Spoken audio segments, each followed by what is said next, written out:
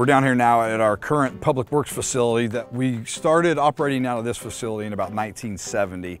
And the city has grown so much since then um, that we just can't fit everything we need in this, this place right now. There's not really any room to expand on the current site, so we're looking to build on a whole new site with a complete new facility. Um, you can see behind me here, we have a lot of vehicles. They sit outside all year long.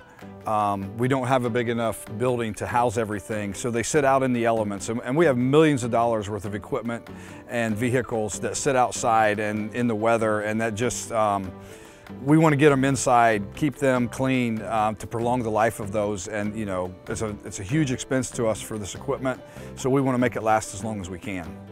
Another issue we have here on this site is, is our salt storage. Since the city has, has grown so much uh, over the last um, few decades, we don't have enough salt on hand at any one time to get us through a winter.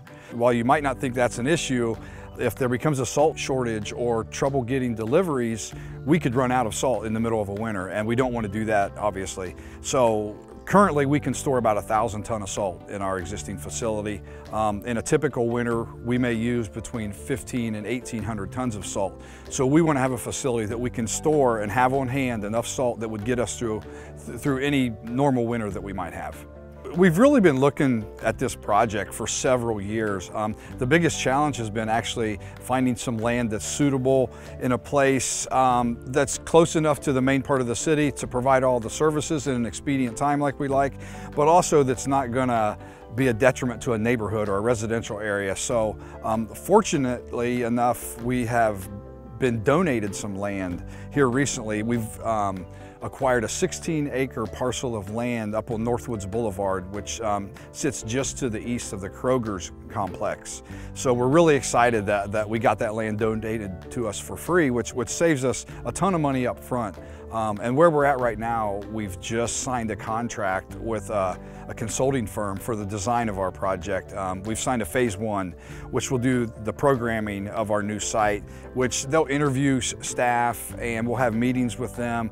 They'll look at the site and, and kind of come up with a concept and see what we need and what we think we need. And, and they may even have some ideas that we haven't thought of yet. So once we have that programming done, we'll be able to put a budget to this. Just as, as a note, some of the things we do in here, um, the Public Works Department, we take care of plowing the snow, we leaf collection, we do asphalt repairs, we maintain all of our street signage, um, we do the street lighting in town.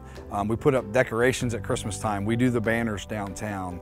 Um, just a lot of things that take a lot of equipment and a lot of folks. We, we have about 20 people on staff when we're full staffed here. So um, that, that has grown since we started using this building. Um, we also, um, we have our own mechanics that take care of not only all of our vehicles, but all of um, some other departments as well, including the fire department. Um, we have our, our building over here that it's, it's hardly big enough to get like two large pieces of equipment in and work on, so we're hoping to expand our mechanics operations in the city and, and really be a, a top tier fleet service for all of the, the city vehicles, including the fire department and all of our public works vehicles as well. So um, those are just some of the things that we do um, that we've really just outgrown this site and really need to expand.